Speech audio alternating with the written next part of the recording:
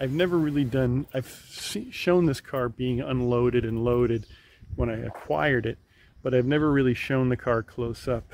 And this is a 78 Chrysler New Yorker. And it only has like 28,000 original miles on the car. And it really is original 28,000 miles.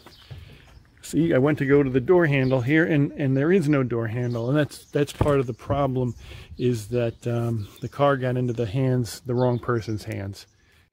Terrible paint job. He shaved off, you know, side marker lights, body chrome trim wheel rings, New Yorker emblems. If it had body side molding, I think it did, that's gone. Um, tr try to put a stereo system into the car. Um, automatic door locks, or I guess remote control doors for the rear seats. Um, car really was in beautiful condition. I can only imagine what this car was like when he first got his hands on it. Um, so I thought I'd try to use the car the way it was and find a different engine for my Royal Monaco wagon. But I found a beautiful 1978 Chrysler New Yorker. It's a dark green with a green leather interior and about 40,000 miles on it and it's been in a front end collision. Its header panel, its bumpers, its hood is damaged and its front fender and its door. So I'm going to start taking this car apart. The engine is going to go into the Royal Monaco. The body parts are going to be used on the other New Yorker. And I'm going to make two really nice cars out of one. Uh, I'm sorry, out of three, three cars. And sadly, this car is going to give up its life. Um, it's um, really in rough shape. You can see all the rust here. Well, actually, you can't really see it. It's it's pretty bad. Um, dented trunk. Here we'll go inside. It's the inside of the trunk. Everything is rotted away. So today is the day starts to get disassembled. So four flat tires. I didn't even think about this hood. I'm gonna have to tie that down. But beautiful interior. It's got a dent in the roof I'm gonna have to take care of. I see a little spot here. It's a has a little bit of softness in the rockers, but nowhere as near as bad as the other car.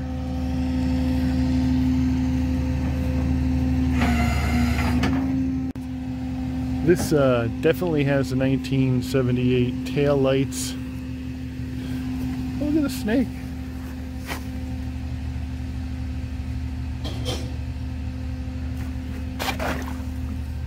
Crawford's Auto Sale in Caribou, Maine.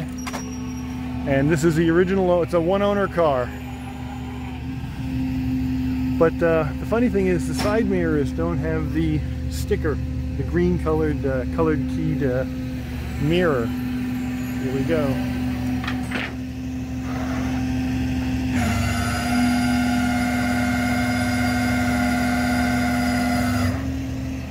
With air in the tires, so it sits actually pretty nice. Front fender is damaged as well. I did not know that. Hood's a mess, but I got that. Put uh, air in the tires now so we can get around the trailer. Gonna be pushing the weight limit on the trailer though, that's for sure.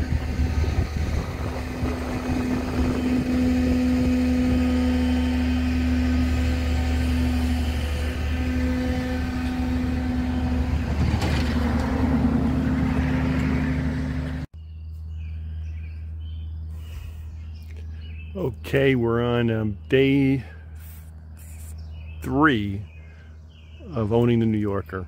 Um, picked it up from Caribou, Maine and brought it on down to Augusta. And yesterday I spent the day cleaning it and basically what I mean cleaning it, I mean getting the mouth's mouth urine smell out of it. Um, but now I think I can, people can see clearly now what I'm going to be doing here because um, we can see the front end collision that this car had. And it was a good whack. And it, when I walk here, I can smell urine. So I'm sure there's mouse house in the engine compartment, but I haven't had a chance to get to that yet. Um, I found them living in uh, the glove box and uh, they had really ingenious, oh I can close it now because I cleaned it out. They had, uh, here in this corner, they had built a house. But uh, overall, you can see um, the car has some cobwebs in the back I got to get to, and it's got this headliner sagging. But uh, overall, you know, it's uh, really, really, really supple, not hard at all. It's really like this has not been out in the sun. You can see it's not faded. Um, car was repainted on this side. You can see the paint, repaint job goes up to there. And then that's original paint there. And then everything back here has been repainted. And I think you can see the difference in color to there to there. And they blended it in there. And of course it, you can see they pulled the vinyl roof back, I think, and painted underneath it. And then they re-glued it down, but it's the only spot that needs some touch-up work but uh, I'll, I'll give you a little tutorial so the 74 and 75 Imperial LeBaron used this front clip and this rear end and a lot of people don't realize that this is not the same as the Chrysler New Yorker in 74 75 New Yorker had different tail light housings different rear bumper and a different trunk lid. This kind of bulge here uh, was for the Imperial and the body line. That doesn't exist on the Chrysler New Yorker or the Newport. The Newport had its own rear end styling too. It was sort of like the way the DeSoto was. Um, same body as a Chrysler, but some different panels. Um, so in 1976, this became the Chrysler New Yorker. The Newport moved up and took the New Yorker's old body, and the old Newport styling went away. Um, little things is like in the 78 model year, this this um, insert, which is not like General Motors, they really they did them well. Um, it's made out of a urethane, but no ribs. It's a nice clean line where previously um, they, there were ribs, ribs in it. So the other styling change on 78, which is weird that they would do it in the last year, is that the Imperial in the previous New Yorkers had a halo roof. So this chrome would go up and then across this way, and this would be body colored. Uh, and that really caused rust issues because the mountings would rust and the roof would start to rust. So that actually was a quality improvement, although style-wise it looked better the other way. Here is the other New Yorker that I have. Now this But it was left outside in the wintertime in New England and you just don't do that to an antique car that had been garaged its whole life. Um, another styling change on 78. They actually changed these lenses. It's a one year only lens. Hit by a snow plow. Rust is awful really bad. So just because of that rust alone, um, I'm going to use the engine out of this for, and it's a 440. That has a 400.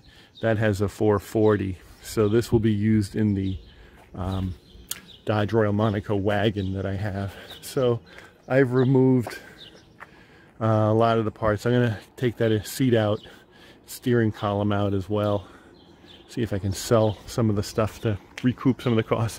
While we're out here though, I thought I, am going to show you a car I've never shown you folks before. This is my uh, my Imperial This is a 1962, very dusty Imperial Crown convertible. And uh, I've had it about 20 years.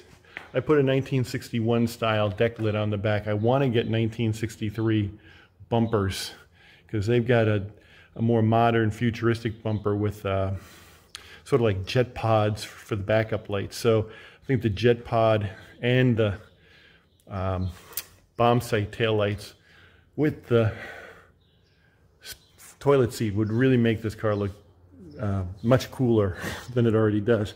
One of the things uh, it has is this is the uh, boot, the original boot for the convertible top. And you, you never see that in old antique cars. They always get lost, thrown away. People move or sell a car and it doesn't go with the car. Um, original leather interior, power windows. This car has every single possible option you can have on the car with the exception of air conditioning um, according to the build sheet. Really nice steering wheel and dashboard. Dash pad is in beautiful shape. High beam, Twilight Sentinel. Um, again, original front seat, all original leather. And this is a pearlescent, so there's almost like a glow to it. Uh, that I re-put in, and same with this because it was a little dried out. So um, I started her up last month. I had her running. Um, I wanted to get to her today and get air in the tire. The tire always loses air. Um, but uh, very big car, so it's kind of fitting that the two are going to be parked next to each other. So anyways, that's that's the Imperial convertible. I think I have a few videos. Um, I hope you guys have been in, uh, enjoying the commercials I've been uploading. Uh, there's more on the way. And uh, I've got some things I wanted to talk about today or show you today. And first off, I just wanted to say that I'm going to be trying to do commercials, more commercials, but um, on a scheduled basis uh, in advance so that they're premiered and you see them every couple of days, but only one a day. I, I, think a lot of times in the past what I've done is I've uploaded a ton of stuff all at once over a two or three day period and then go silent for six months. So what I'm trying to do is uh, have commercials on a more scheduled basis. So first I want to thank everybody that's um, been watching my channel. Uh, I'm actually been doing this as a hobby and I'm trying to take it a little bit more seriously now. And, uh, you know, I've never said this before, but uh, if you folks all wanted to subscribe, that would be really appreciated. I've, I'm approaching 16,000 subscribers, which isn't really a whole lot but I've never asked anybody to subscribe. So that's kind of the cool thing about this is that people have just gravitated to my channel over the last 15 years by accident. I think a lot of it is just people just have seen it and they like what they've seen and they've subscribed.